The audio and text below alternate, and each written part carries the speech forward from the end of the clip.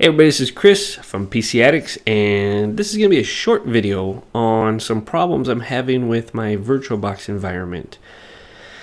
Since upgrading from Windows 8 to 8.1, I've noticed that um, my machines won't work.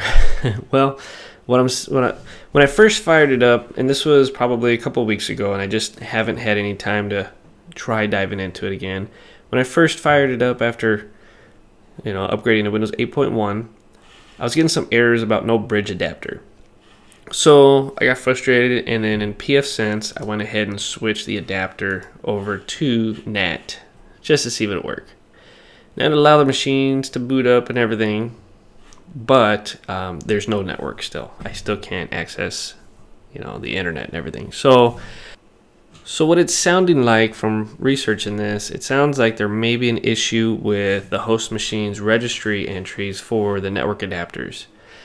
And um, I don't have a solution yet, but this video is going to be kind of more of a question for you guys if any of you have upgraded to Windows 8.1 um, and had to deal with this VirtualBox environment stuff. Have you just reinstalled VirtualBox? Did it work? Um, or you even seen problems.